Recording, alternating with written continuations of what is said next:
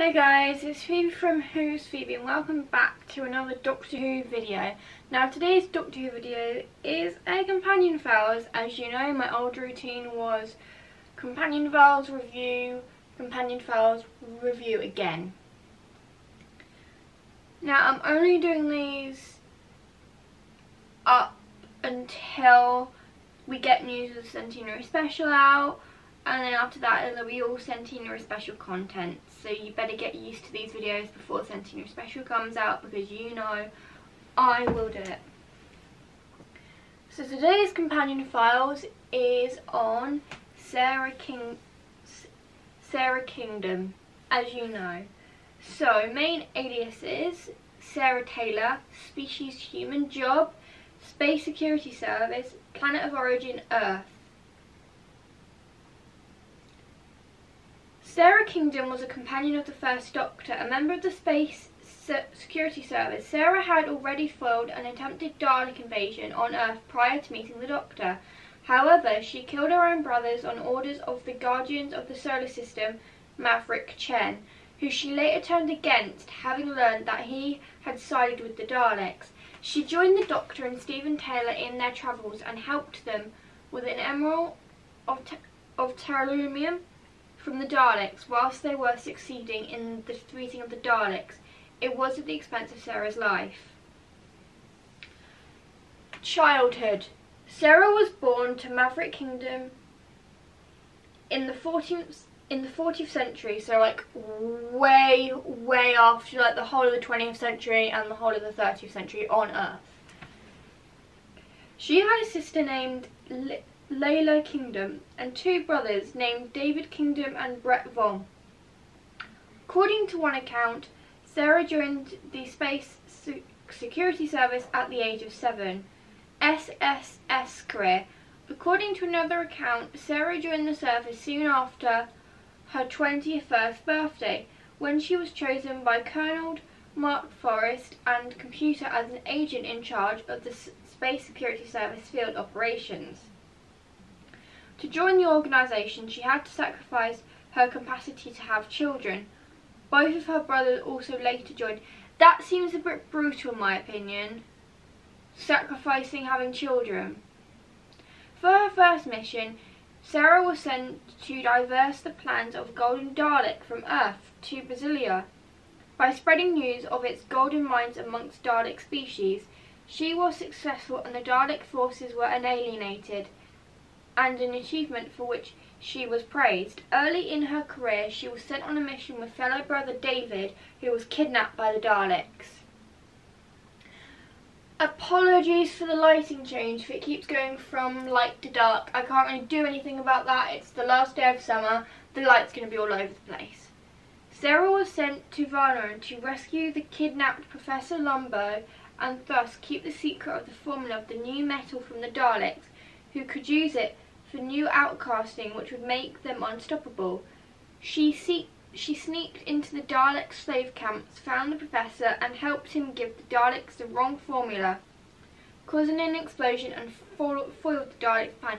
So even without the Daleks, she still knew about them, which is interesting.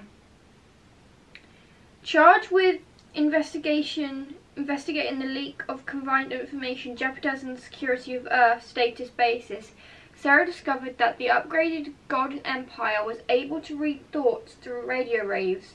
She used Earth scientists as bait whilst human forces attacked and wiped out the Dalek fleet, thus foiling the short-lived Dalek invasion.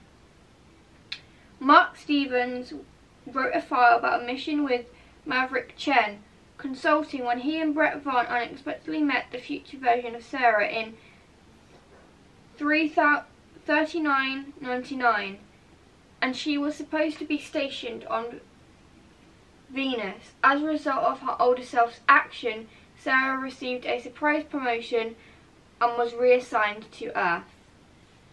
Weird. See, the lighting's gone dark again. Like I said, guys, nothing I can do about that. A year later, in 40,000, Chen told meeting the Charles and the TARDIS meeting the Doctor. Chen told Sara that Bret was a traitor and was sent to stop him. The first Doctor and Steven Taylor. She was shot and killed her brother. but was prevented from killing the other two when, when the three of them were accidentally transferred to Minor by cellular transportation. There she, there she learned that her unqu unquestioned obedience had not only led her to unjusti unjustly kill her brother, but had prevented him from warning Earth of a Dalek plot. Deciding to help the Doctor and Steven, she travelled to Kembel with them and saw for herself that Chen had alienated himself with the Daleks, replacing the Urn of Titanium with a fake. The three left the TARDIS with the power source to keep it away from Chen on the run. Sara's adventures in the TARDIS were to Liverpool on Christmas Day 1965 and Hollywood in 1921. While celebrating Christmas aboard the TARDIS, they smashed into an experimental space-time vessel and after Natalie Lang attempted to pilot the TARDIS, Sara was knocked unconscious and experienced a delusion in which she was at Bret's birthday party. She knew it was fake, but was unable to resist. After her crew awoke, the TARDIS landed on the various Christmases when they found well, they found to be due to, to a boy named Robert. They took him to Mars where he died in Sara's arms. Like I said, Christmas for the Doctor doesn't always go to plan. You've, if you guys have seen the Christmas specials, you know that the Doctor's um, Christmases never go the right way. In 1399, she met Brett and destroyed the Great Clock after it attacked her mind, unwittingly causing the power crisis that led Chen to make his deal with the Daleks. She brought about her own promotion and posting to Earth. She helped rescue miners on the asteroid with the settlement Silver Sea and visited a house in Ely where she left a copy of her mind to save the Doctor, Steven and the TARDIS. They also visited 19 1916, where they found the Battle of Somme was a month was a month overdue and the time was compensating for those who were meant to die.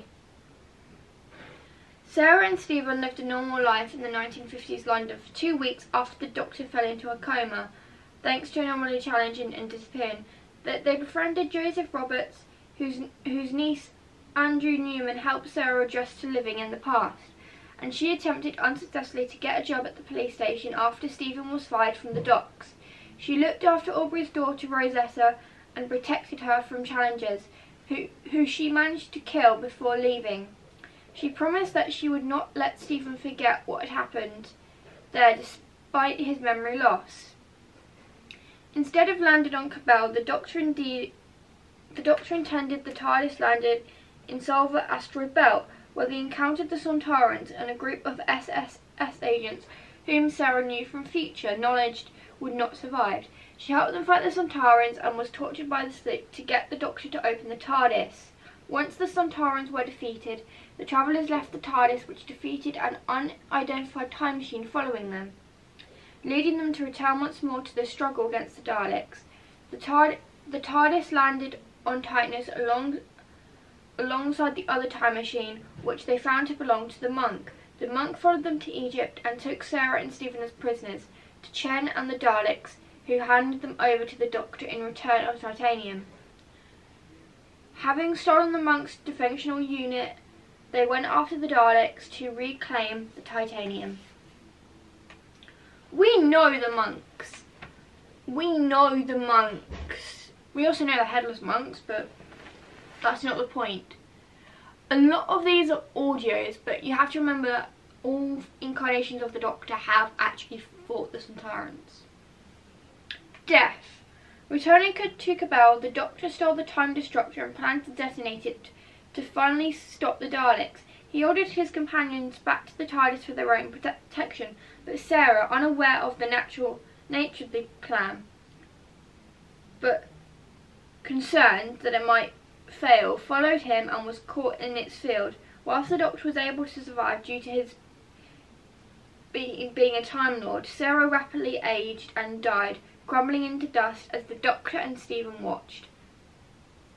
There's nothing they could have done, because Sara was actually one of the first Doctor Who companions to die. She was the first Doctor Who companion of all time to die, and then following Adric a while later. Undated offence.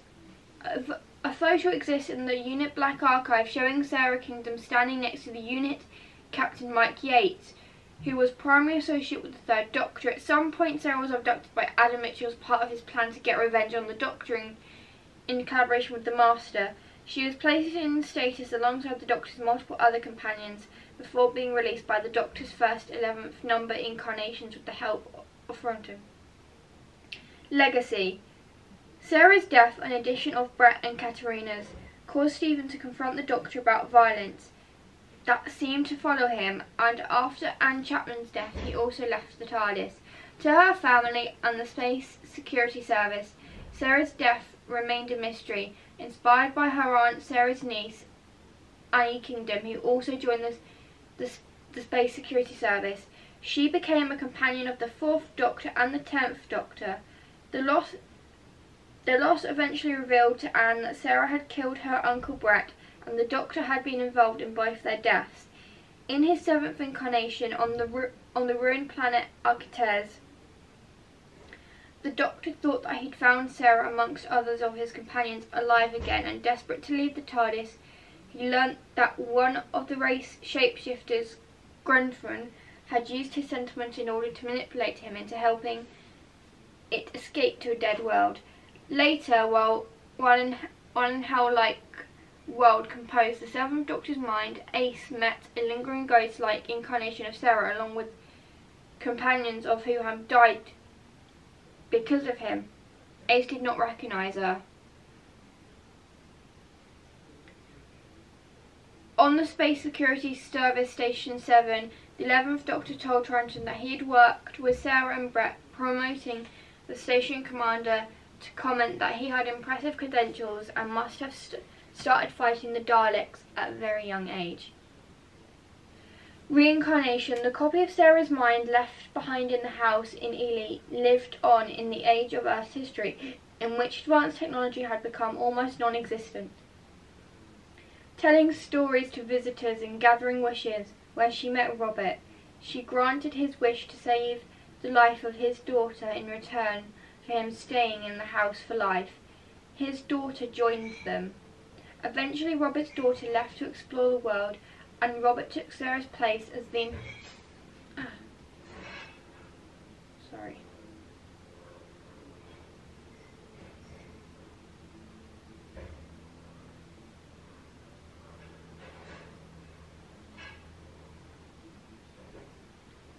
As entirely inhabitant of the house, given Sara's human form as an older woman, she attempted to leave Ely but was unable to telling Robert one last story about how she had destroyed the great clock in exchange for the meaning to leave. Robert drew the TARDIS to the house and gave Sara the choice of joining the Doctor in a later incarnation or remaining Earth. The vision of Sara was abducted by Brewster using a time scoop and was taken to an alternative version of the Death Zone on Gallifrey, where she met the Fifth Doctor, Ian Chesterton, Polly Wright and Nyssa. She was reunited with, with an older Steven she was once again battled both the Daleks and the Sontarans. And there we go. That's everything you need to know on Sara Kingdom. It's a pity that her story has a gruesome end, but she was the first Doctor Who companion to die, and then after that, couple, and then after that, you had Adric die, and it now seems to be a, it now seems to be a pattern. Companions just die. Anyway, hope you enjoyed this video. Please give it a thumbs up if you did. And make sure you give it a subscribe button down below if you've never seen my face on screens before. And I'll see you guys next time for another Doctor Who video. Allons-y.